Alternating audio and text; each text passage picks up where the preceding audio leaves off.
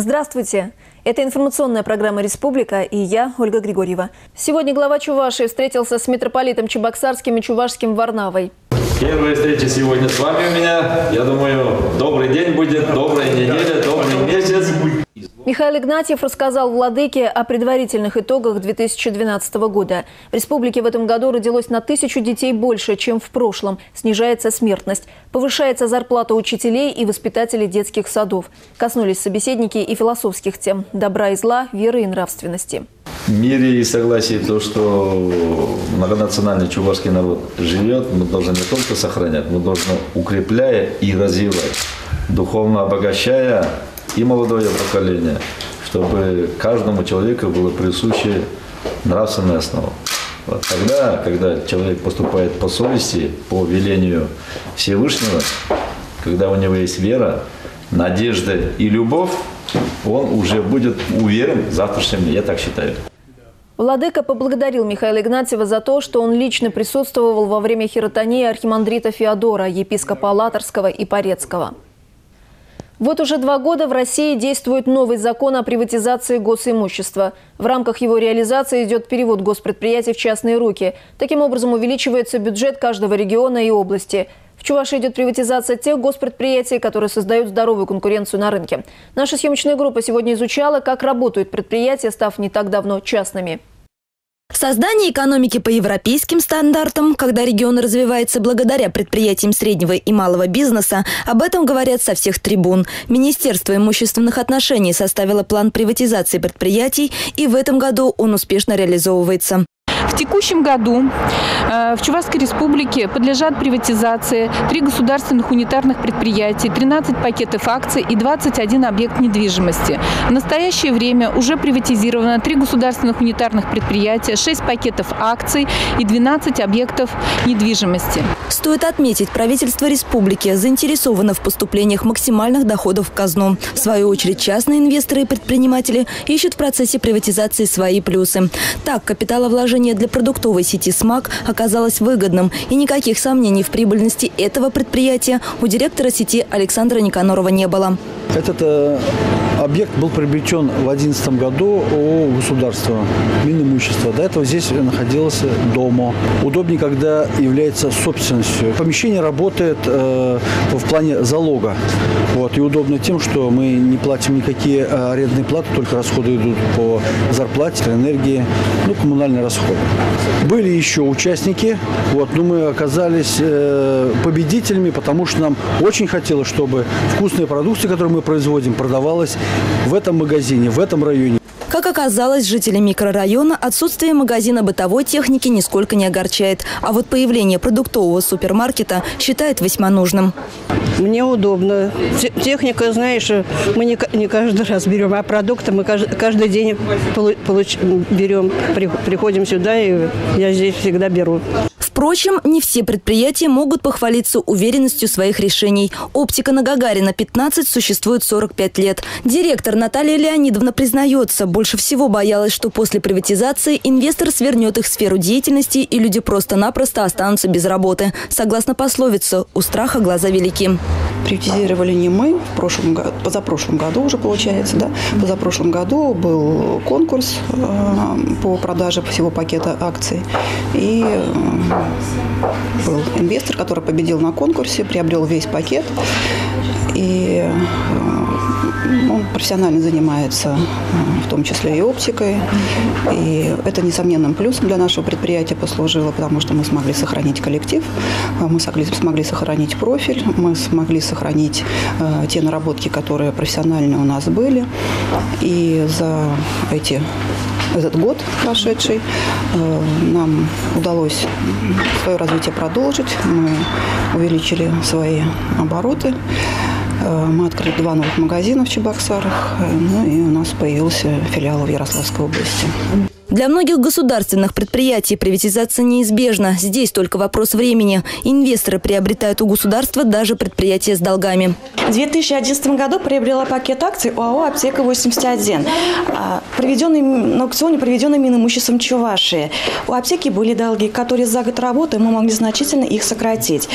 После приобретения пакета акций мы сохранили свою, э, свою деятельность, также сохранили рабочие места. Мы, у нас в планах уже открытие новой аптеки, привлечение новых специалистов, новых кадров. План приватизации госимущества на 2013 год уже утвержден. В следующем году в частные владения перейдут 13 объектов, которые находятся на балансе региона. В настоящее время осуществляется прием заявок для участия э, в аукционе по продаже объектов недвижимости, расположенных в поселке Новое Атлашево. Аукцион по продаже имущественного комплекса объявлен на 27 декабря. Конечно, основная цель приватизации этих объектов недвижимости – пополнение региональной казны. Доходы от продажи имущества составят не менее 108 миллионов рублей. Как отмечают в Министерстве госимущества, больших доходов приватизация может и не принесет, но и держать их на балансе нецелесообразно. Данифа Тагирова, Евгений Анисимов, Республика. Почти полвека на защите материнства и детства в нашей республике стоят представительницы Республиканского совета женщин. Они всегда берут инициативу в свои руки и ведут свою социальную политику. В центре их внимания – здоровье семей, обеспечение их жильем, медицинским обслуживанием, забота о подрастающем поколении и ветеранах. Сегодня в Чебоксарах прошел 16-й съезд Республиканского совета женщин. В Дворце детского и юношеского творчества собрались представительницы женсовета из разных уголков Чувашской республики. Не первый год они демонстрируют свое невероятное трудолюбие и создают удивительный мир народного творчества своими руками. По традиции эти умения сохраняются и передаются от матери к дочери детей приглашаем, чтобы это все учить. У нас, конечно, в Урмарском районе все уже знают бисереплетение, и вышивку, и шитье тоже. Ну, короче, все, все делаем, что нам не лень. Тут мы приготовили изделия, вот э, картины, игрушки, и стенд мы приготовили. Из Канашского района э, у нас активно участвуют женщины э, многодетных семей, учителя, преподаватели, которые работают в больнице больнице. Женсовет на протяжении многих десятилетий старается объединить разных и в то же время похожих друг на друга женщин. Еще в годы Великой Отечественной войны женщины работали в тылу, а в послевоенные годы женсоветы активно участвовали в возрождении страны. Сегодня это крупная общественная организация, в которой насчитывается около 300 отделений. Практически во всех сельских поселениях работает свой совет, который имеет перед собой конкретную цель, чтобы страна была социально здоровой. Мне очень приятно находиться и, может быть, кое о чем доложить перед вами, насколько сегодня органы власти Чувашской Республики создают или не создают благоприятную среду для того, чтобы в любви появлялись желанные, жизнерадостные дети. Хочу доложить, за последние 20 лет впервые мы год завершаем с положительной демографической ситуацией. С учетом вчерашней ночи оперативная информация идет. Появилось 1036 младенцев больше по сравнению с аналогичным периодом прошлого года. С чем я вас всех поздравляю. Государственная поддержка во многом позволяет переломить демографическую ситуацию в стране. Помощь многодетным семьям с предоставлением земельных участков, материнский капитал, материальные выплаты за усыновление и многое другое позволяют нашему обществу идти в правильном направлении. В роли фермеров и воспитателей, предпринимателей и преподавателей, врачей и работников культуры женщины вносят свой огромный вклад в устойчивое развитие нашей республики. А сельская женщина – опора семьи, хранитель хранительница семейных устоев. В женсовете работают только те, кто пришел сюда по велению сердца. Социальная активность и милосердие женщин призваны создать более сильное общество. Сделано немало, но впереди еще много важной и нужной работы. Татьяна Филатова, Андрей Шоклев, Республика. Без сомнения, женщины вносят весомый вклад в развитие экономики и развитие общества. Порой после рождения ребенка им не так легко вернуться на работу – о том, как можно это сделать максимально безболезненно, смотрите сегодня в программе «По существу» сразу после нашей программы. Рекомендации для молодых мам дают специалисты столичного центра занятости. К другим новостям. 9 декабря – Международный день борьбы с коррупцией – в 2003 году в Мексике была подписана Конвенция ООН. Россия тоже присоединилась к ней. Надзор за исполнением законодательства о противодействии коррупции – приоритетное направление деятельности органов прокуратуры республики. За 9 месяцев 2012 года в республике возбуждено 466 уголовных дел коррупционной направленности. В суды направлено 90 таких дел. Общий ущерб по этим уголовным делам составляет 400 миллионов рублей. За это время осуждены 78 человек, среди которых 7 за получение взяток, 15 за дачу и один за посредничество в даче взятки. Органы прокуратуры в ходе проверок выявили около трех тысяч нарушений закона. Более 700 человек привлечены к дисциплинарной ответственности. Немало фактов коррупционной деятельности выявляется и в правоохранительных органах. Недавно в Чувашии осудили сотрудника колонии, который за вознаграждение проносил за решетку запрещенные предметы. С подробностями Дмитрий Ковалев. На запретный плод младший инспектор исправительной колонии номер один покусился, не проработав своей должности и месяца. В его обязанности входило досматривать посылки и изымать предметы, не положенные в местах не столь отдаленных. Но жажда наживы оказалась сильнее. Подзаработать ему предложил один из осужденных. За обещанную взятку 8 тысяч инспектор пронес колонию два сотовых телефона. Э, процесс передачи происходил каким образом? Лукаянов, э, находясь в данном исправительном учреждении, отбывая срок наказания, э, Шиблеву для, за перенос, за недосмотр посылки, который находился сотовый телефон, передал первую часть взятки в сумме 5000 рублей. В свою очередь Шиблев Денис не досмотрел данную посылку, и данный сотовый телефон оказался в руках осужденного. Для чего понадобился сотовый телефон осужденному неизвестно. В прокуратуре не исключают. Благодаря ему в колонии проворачивали аферы. Имеет место э, факты переноса сотовых телефонов э, в исправительное учреждение для осужденных, которые, в свою очередь, находясь в местах лишения свободы, э, в том числе оказывают давление на потерпевших и свидетелей по уголовным делам. Спустя некоторое время инспектор попал в разработку оперативных служб. Сотрудника колонии снова попросили об услуге, но очередную запрещенную посылку и деньги в этот раз ему передавало подставное лицо. Все детали встречи они обсуждали за несколько дней по телефону.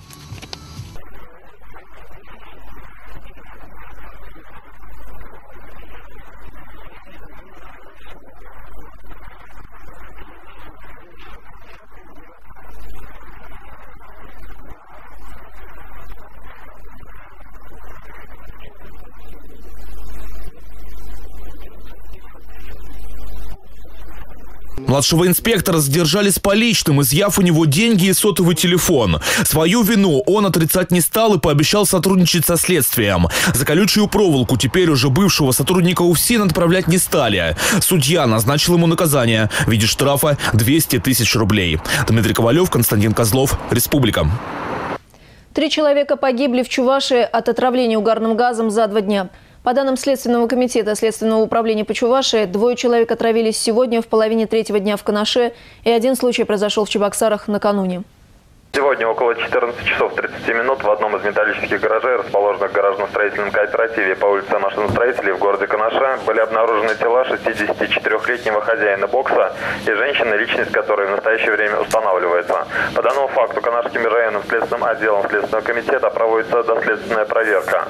Как следует из материалов проверки, тела мужчины и женщины обнаружил племянник мужчины, который отправился на поиски своего дяди, поскольку тот ушел из дома накануне и с тех пор его никто не видел. Открыв дверь, дверь, запертую изнутри вторым комплектом ключей, он обнаружил тело дяди, расположенное на полу недалеко от ворот гаража, и тело женщины внутри стоявшего в гараже автомобиля ВАЗ-2105, зажигание которого было включено, а бензин закончился. Повреждений на телах погибших, а также следов борьбы внутри помещения визуальным осмотром не обнаружено. По предварительным данным, причиной их смерти является отравление угарным газом.